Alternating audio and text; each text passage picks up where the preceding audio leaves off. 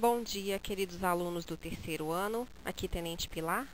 Vamos dar então prosseguimento à revisão para a nossa PRF. Lembrando que essa revisão está bem voltada para a prova de vocês. Então, eu peço que vocês tenham muita atenção e qualquer dúvida que tenham, enviem como mensagem para que eu possa estar esclarecendo também. Tanto eu quanto qualquer um, professor de, um dos professores de língua portuguesa. Nas últimas duas videoaulas, nós trabalhamos interpretação de texto, que é uma parte que vai pesar bem na prova de vocês. Seguindo, eu vou rever com vocês, porque na verdade classes gramaticais é um assunto que vocês estudam desde o sexto ano, né? Então já deve estar bem fixado aí na, na memória de vocês. Mesmo assim, eu trouxe para vocês uma revisão dessas classes gramaticais e posteriormente faremos exercícios, tá? Então, vamos iniciar com a primeira classe gramatical, que é substantivo, né? Então, o que são substantivos? São palavras que nomeiam seres, lugares, qualidades, sentimentos, noções, entre outros. Podem ser flexionados em gênero. Então, alguma da, algumas das classes que nós é, trabalharemos poderão ser flexionadas, outros não, tá? Então, esse é um caso que pode ser flexionado em gênero, masculino e feminino, número, singular e plural, e grau, diminutivo, normal, aumentativo. Exercem, os substantivos exercem sempre a função de núcleo das funções sintáticas onde estão inseridas. Então, sempre vai ser núcleo de sujeito, sempre núcleo de objeto direto, sempre núcleo de objeto indireto e agente da passiva. Então, os substantivos serão núcleos. Trouxe para, para vocês é, relembrarem as classificações de substantivos. Não indica que na nossa, na nossa PRF é, será cobrado isso, eu só estou relembrando com vocês. Vamos lá, então.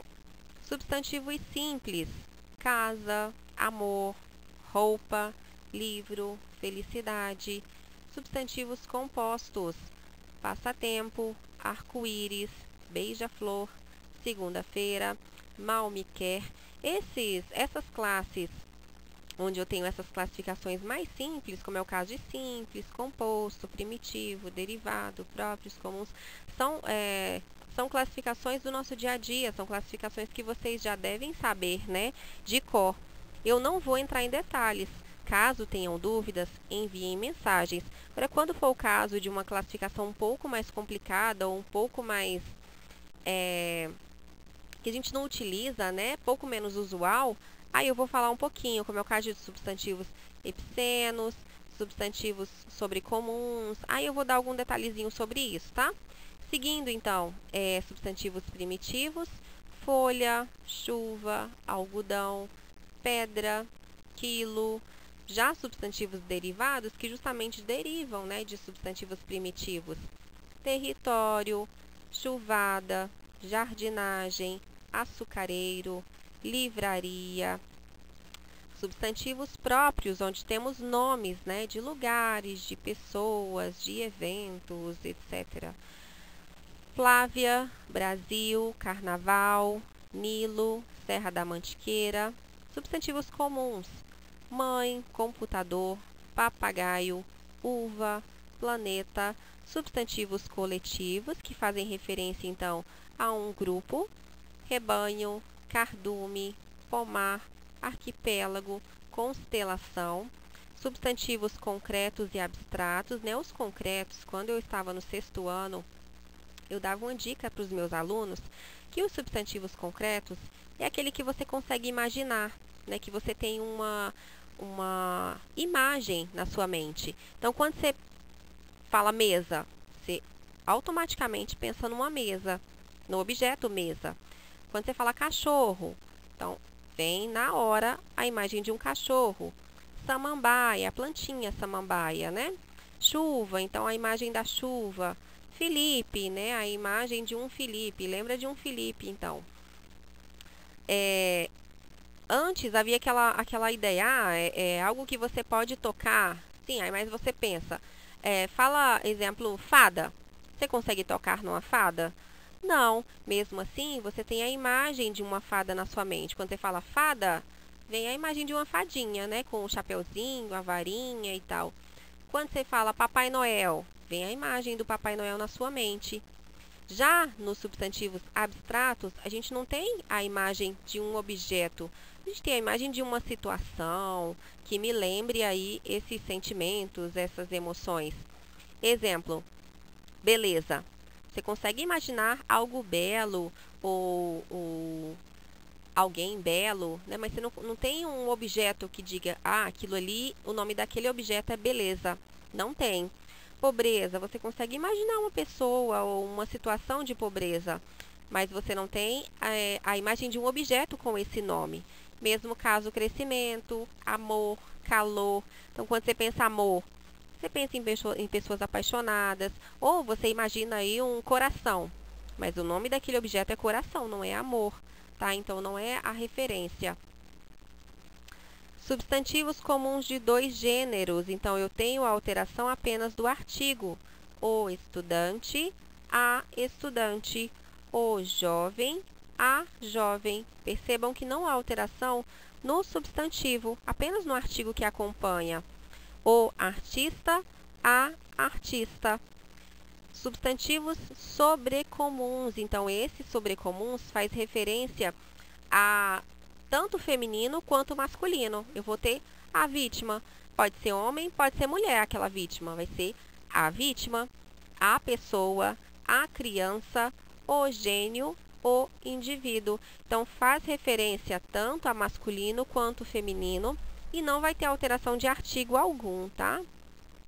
Substantivos epicenos, então faz referência da mesma forma. Eu não tenho é, masculino ou não, não, é, não faz referência a masculino e feminino. Já esse epiceno, na verdade, ele faz referência a animais, a insetos, né, como é o caso aí da formiga, só acrescentando se é macho ou fêmea. Então vai ser a formiga, macho ou a formiga fêmea. O crocodilo, macho ou o crocodilo fêmea. Então a única coisa que vai alterar é porque vai acrescentar o fêmea ou o macho aí no caso, mas vai continuar o crocodilo, a formiga, a mosca, a baleia, o besouro, tá?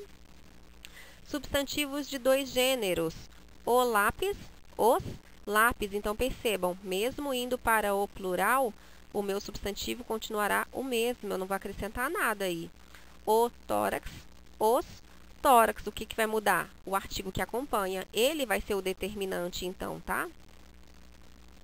a praxis, as praxis. Ok. Qualquer dúvida, enviem mensagem. Artigos. Então, o que são artigos? São palavras que antecedem os substantivos, determinando a definição ou a indefinição dos mesmos, sendo flexionados em gênero, masculino e feminino, e número, singular e plural, indicam também o gênero e o número dos substantivos que determinam. Então, lembra lá no, no, no anterior, onde vimos os substantivos? Nós tínhamos o estudante, a estudante. O que, que me determina, então, se aquele estudante é homem ou mulher? O artigo. Então, nesse caso, nós temos artigos definidos que justamente vão definir se é masculino ou feminino, se é singular e plural, os estudantes, as estudantes, aí fazendo referência a, a singular e plural, né, e masculino e feminino.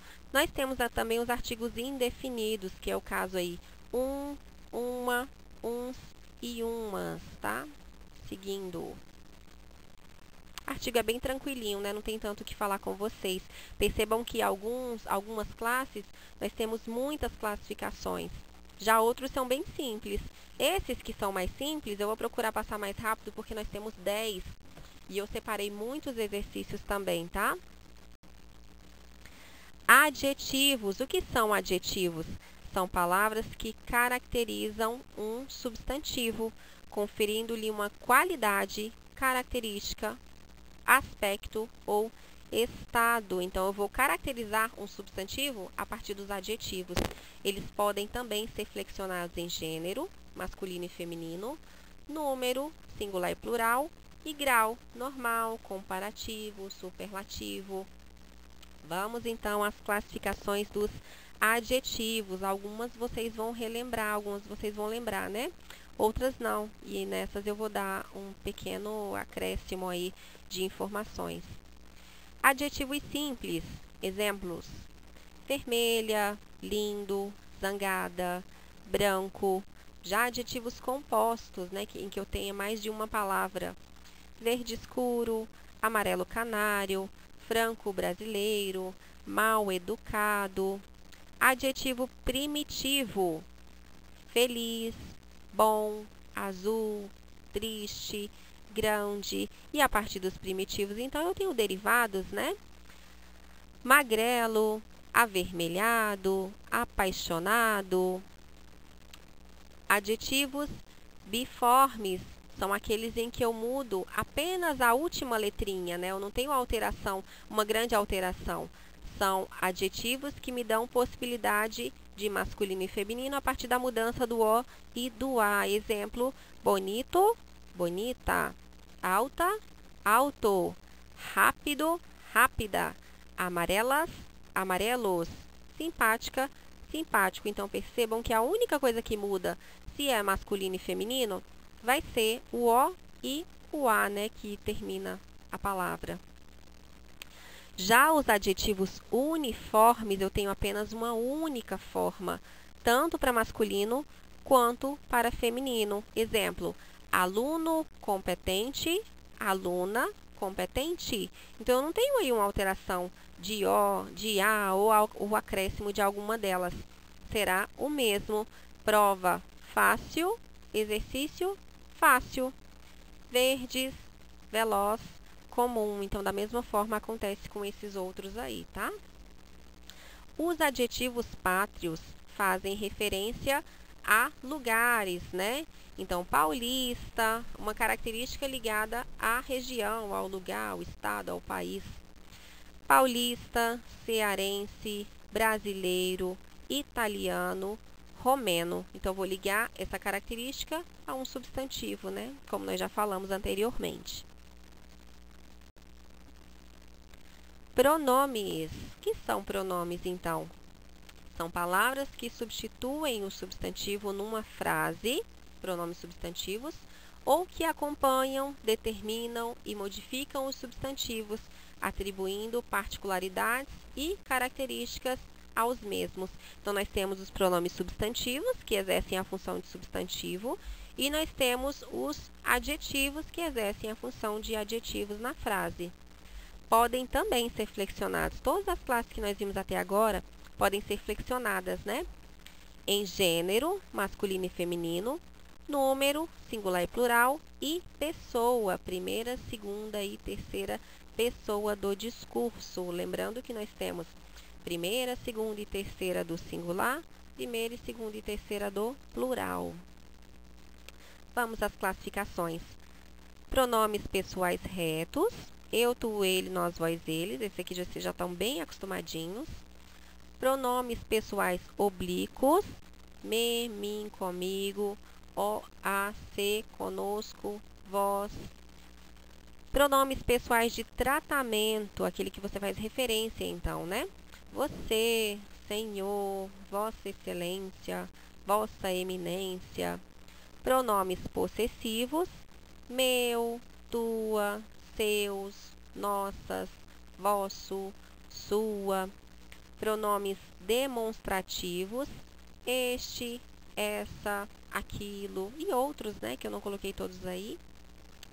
Pronomes interrogativos, que, quem, qual, quanto pronomes relativos, que, quem, onde, a qual, cujo, quantas, pronomes indefinidos, algum, nenhuma, todos, muitas, nada, algo. Lembrando que, como eu já falei anteriormente, na nossa PRF não vai cobrar classificação. Ah, esse pronome, é, classifique, é um pronome pessoal reto, oblíquo, de tratamento, possessivo? Não, eu só preciso que vocês lembrem o que, que é um pronome, né? E aí eu estou só relembrando com vocês as classificações que eu acho importante vocês saberem identificar. Já que vocês já estão finalizando o terceiro ano do ensino médio. Vamos seguindo, né? Numerais. Vamos então aos numerais. O que são numerais? São palavras que indicam quantidades de pessoas ou coisas, bem como a ordenação de elementos numa série. Então, eu posso indicar quantidade ou a ordem de elementos, né? Alguns numerais podem ser flexionados em gênero, masculino e feminino, e número, singular e plural. Outros são invariáveis. Vamos então à classificação desses numerais. Numerais cardinais: 1, 7, 28, 190, 1000. Já os ordinais, lembrando de ordem, né? O primeiro, vigésimo segundo, nonagésimo, milésimo. Numerais multiplicativos, aqueles que dão ideia de, de multiplicar, né? Duplo, triplo, quádruplo, quíntuplo. Já numerais fracionários dá ideia de divisão, um meio, um terço, três décimos. Já numerais coletivos, dúzia, cento, dezena, quinzena, de coletivos. Numeral é bem tranquilinho, né, gente? E última classe que nós veremos. Vamos então para a nossa última classe gramatical de hoje. O restante faremos na próxima videoaula. Verbos são palavras que indicam principalmente uma ação. Podem indicar também uma ocorrência, um estado ou um fenômeno.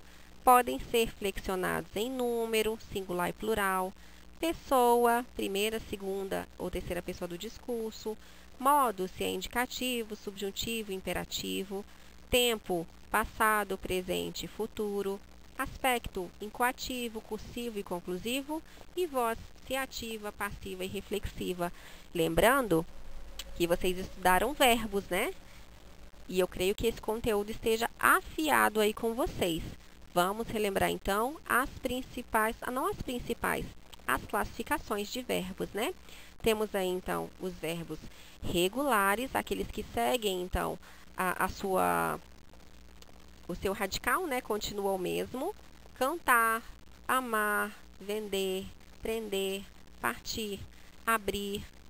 Verbos irregulares, aquele que, que so, aqueles que sofrem alteração em seu radical ou em suas desinências, né? Então, medir, eu meço, né? Eu faço, eu ouço. Percebam que muda o radical do verbo. Seguindo aí, temos os verbos anômalos. Nós estudamos tudo isso no terceiro trimestre, estou apenas relembrando. São verbos que mudam de radical ao longo da conjugação.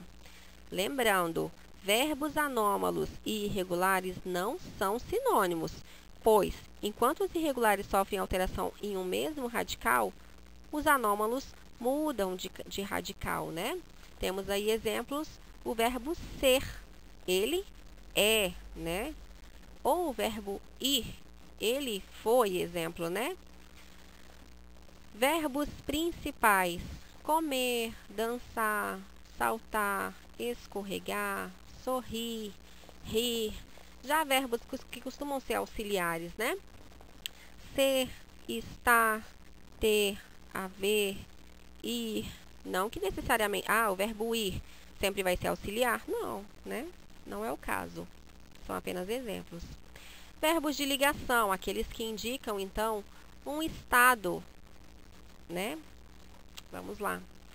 Ser, estar, parecer, ficar, tornar-se, continuar, andar, permanecer. Verbos defectivos. Então, o que seriam os verbos defectivos? são aqueles que possuem uma conjugação incompleta, ou seja, não se conjugam em todos os modos, são os defectivos.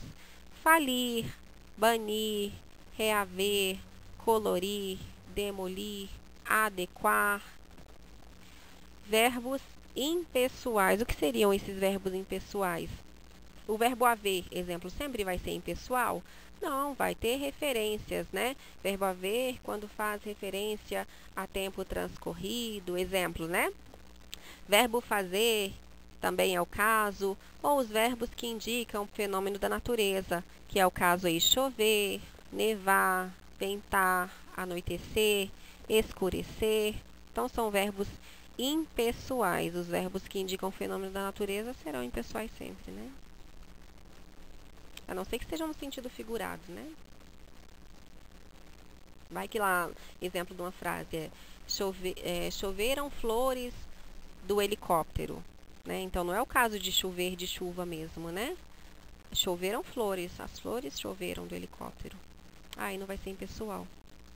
Mas quando for no sentido real de fenômeno da natureza, sempre verbo impessoal. Verbos unipessoais. O que seriam esses verbos unipessoais?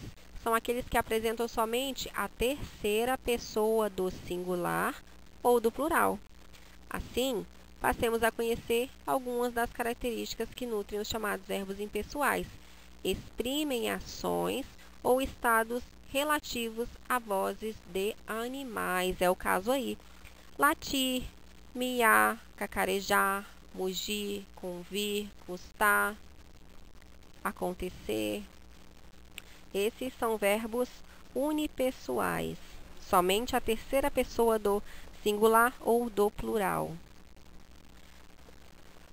Seguindo, verbos abundantes são aqueles que apresentam mais de uma forma equivalente em determinadas conjugações. É mais comum que essa abundância ocorra especificamente no particípio, o que chamamos de particípio duplo. Temos aí casos aceitado ou aceito, as duas formas estarão corretas. Ganhado ou ganho, mesmo caso. Pagado ou pago, também o mesmo caso, tá? do particípio, tendo as duas formas como corretas. Verbos pronominais essenciais: arrepender-se, suicidar-se, zangar-se, queixar-se, abster-se, dignar-se. São verbos usados apenas na sua forma pronominal, cujo radical transmite uma ideia de reflexibilidade, tá? Então, são verbos pronominais essenciais. E por último, temos aí os verbos pronominais acidentais. Pentear, pentear-se. Aquele primeiro lá só tem com o pronome, né? Já esse caso não, eu posso ter com ou sem, dependendo da situação. Pentear, pentear-se. Sentar, sentar-se. Enganar, enganar-se. Debater, debater-se. Então, verbos pronominais acidentais são aqueles verbos utilizados na forma pronominal e na forma simples, onde o radical não transmite a ideia de reflexibilidade.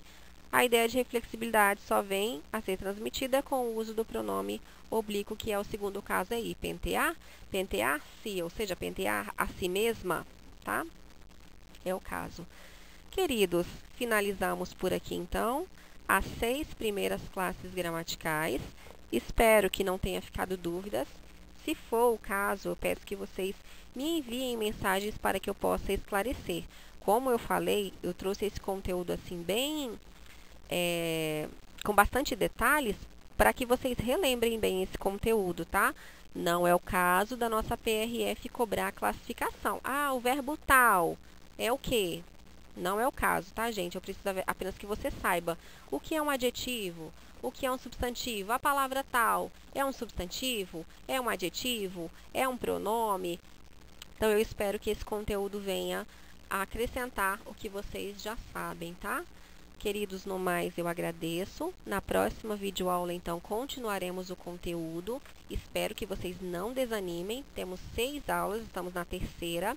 Assistam a todas.